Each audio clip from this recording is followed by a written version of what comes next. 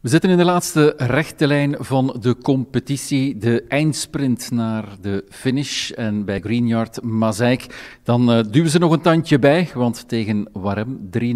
En dan in Gent gaan winnen met uh, 3-0 na een uh, weer prima prestatie. Jolan en Joel, proficiat met alweer een 6 op 6 vorige week. Ja, jullie laten niet los, hè Joel? Knap van de jongens, drie wedstrijden in één week. Um, zeker na zo'n een moment tegen Roeselare, dan moeten we de focus terugvinden. Uh, onmiddellijk voor de woensdagwedstrijd tegen Warem. Het is echt een vectorsploeg. Uh, die hebben een moeilijk seizoen gehad, maar die blijven gaan, die blijven vechten voor elke bal. Dus het is een andere soort uitdaging in vergelijking met Roeselare. En dan in Gent ook hetzelfde, meer, ietsjes meer kwaliteit, uh, veel hogere surfdruk. Maar bij ons na uh, een moeilijk begin, de eerste 5, 6, 7 punten, dan vinden we eigenlijk onze ritme. Vooral met opslag. Um, dus dat was uh, zeer leuk om, om uh, zo'n week af te ronden. Moet jij de jongens dan prikkelen of komt dat uit de groep zelf? 50-50, hè. Dat is een beetje de werk van de coach, maar ook de standards in, in zijn hoog en de, de en vooral ik denk dat de focus voor beter willen presteren, beter willen spelen als individu en dan als collectief, dat is ook een belangrijk onderdeel van topsporten. Um, altijd willen winnen, maar ook je, je standards hoog, uh, de lat hoog leggen. Jij was uh, blijkbaar wel heel scherp in uh, Gent. als ik jouw cijfers zie, die doen me toch wel een beetje duizelen. Wel in service zou ik dan denken, inderdaad. Ehm, aanval was meer een standaard match. Maar ja, ik heb proberen mijn beste service boven te halen, want uh, op bepaalde momenten was het toch nodig. Dus uh, ik denk dat dat inderdaad uh, veel effect had. En hoe komt dat? Train je daar extra op? Sowieso wel veel op service. dat blijft een van de belangrijkste wapens van, van dit mozaïek, denk ik. dus we moeten dat ook blijven gebruiken en blijven op werken. En, en, als het niet van mij komt, dan is het van de speler naast mij. het is bij ons iedereen kan een match hebben dat ze zoveel aces hebben. En het is ja, fantastisch om te weten dat je dat in je ploeg hebt. Ja, want in de gesprekken die we hier eh, regelmatig hebben met de clubs, dan komt dat uh, heel vaak terug. Opslagdruk, is dat uh, zo belangrijk geworden? Vanaf dat je die in op-situatie kunt krijgen, dan, uh, dan shift het voordeel van de aanvallende ploeg een beetje naar de verdedigende ploeg. En, en ja, dan, in breakpunten, ja. Zonder breakpunten kun je geen match winnen. Dus dat begint toch altijd met de service natuurlijk. Joel, heb je dat de voorbije jaren zien veranderen? Is dat uh, belangrijker geworden, nu belangrijk in het spel van het volleybal? Voor mij betreft is altijd belangrijk. Uh, toen ik begon bij Mazaik hebben we vanaf de eerste dag heel veel opslagwerk gedaan. Omdat is een belangrijk onderdeel bij mannenvolleybal. Um, druk leggen met de opslag, die aanvallende opties uh, beperken voor de tegenpartij. Wat heel interessant is, zie je wel dit jaar.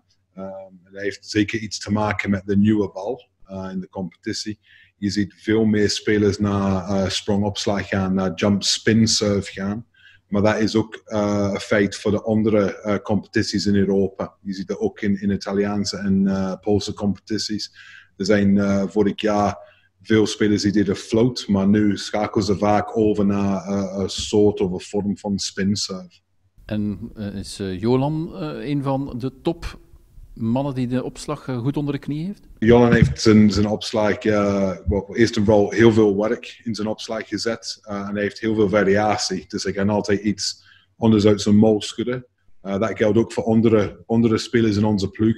Maar eerst en vooral power en kracht, maar ook variatie. En ik denk als je, als je die twee kunt koppelen, kun je veel verschillende vragen stellen aan de receptielijn van de tegenpartij. Je was de star of eh, the game, man van de wedstrijd, uh, Jolan.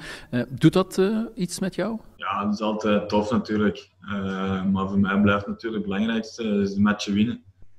of dat er nu iemand anders de star of the game krijgt, dat maakt mij op zich niet zo uit, maar het blijft een leuke extra natuurlijk. Wil je ook alle wedstrijden spelen? Want het is een druk programma momenteel, maar het was ook al een druk programma de voorbije weken. Ja, um, eigenlijk wel. We mogen er nog drie matchen per week zijn. Uh, dat zit een beetje in mij. Uh, ja, ik zit niet graag langs de kant. En ik denk dat dat bij de meeste spelers, uh, topsporters, zo is. Um, je bent hier om, om, te willen helpen, een verschil te willen maken. En als je dan niet, niet op het veld wilt staan, ja, dan denk ik dat je een beetje in de verkeerde job zit. Ja, want Joel, je had gerust misschien wat andere spelers wat uh, uh, tijd kunnen gunnen in Gent bijvoorbeeld. Heb je dat bewust dan niet gedaan? Ja, kijk, voor ons dit seizoen is het duidelijk dat er zijn spelers, maar posities waar er duidelijk concurrentie is. En soms heb je seizoenen waar je hebt duidelijk een eerste en een tweede keus. Dit jaar over verschillende posities hebben we een aantal spelers die kunnen iets betekenen voor het team. En de kunst is, denk ik, op dit moment is de, de juiste balans zoeken tussen concurrentie en iedereen scherp houden, maar ook niet ten koste van een bepaalde ritme. En dat is toch een beetje keuze die je moet maken. Um, maar goed, uiteindelijk, als je, als je dat ziet in Gent, we winnen met 3-0 was niet simpel, maar we maken het bij momenten ietsjes makkelijker met de opslagdruk, uiteraard. Maar we weten ook, vind ik als coach, en ik denk, ik merk dat aan de spelers, we hebben wisselspelers die kunnen, um, die kunnen binnen de lijnen vallen en een verschil maken. En uh, soms, soms is dat nodig, soms is dat minder nodig. Maar het is wel een plezante situatie als je hebt meer dan, meer dan gewoon je zeven spelers die, die op de plein staan. Eh, tot slot, uh, Jolan, er is nog één wedstrijd, een uitwedstrijd naar Leuven. Dat lijkt me nog wel een leuke afsluiter, zeker wetende dat Leuven nog volop strijdt voor die vierde plaats. Ja, inderdaad. Um, voor Leuven een heel belangrijke match. Uh, nu, wij willen uh, op zich de competitie als eerste afsluiten. Uh, je weet nooit met een beetje variant voor. Het kan zijn dat binnen een maand stil ligt. Dan staan we toch maar eerst. dus ik zou graag de reguliere competitie als, als kampioen afsluiten. Alleen als eerste plek. Kampioen BM zijn natuurlijk niet. Maar ehm, ja, we moeten er gewoon voor gaan. Maar inderdaad, in Leuven is het nooit een gemakkelijke match. Voor jou ook een uitdaging nog, Joel? Ja, er zijn, er zijn uh, verschillende spelers die hebben link met Greenyard Mazaik daar. Hè? En uh, ik denk aan Seppe, Bartens, Simon Peters, Better Peters. Ja, zeker die mannen die willen niks leveren dan, dan punten pakken of, of winnen tegen Mazaik. dus dat, dat, dat, is altijd een leuke uitdaging voor ons. En ik ben mee eens met Jolan van we willen graag gewoon dit momentum voortzetten. Dat lijkt me de juiste beslissing. We kijken er naar uit, naar die slotwedstrijd van Haasrode Leuven tegen Greenyard Mazeik. Hartelijk bedankt, Jolan en Joel.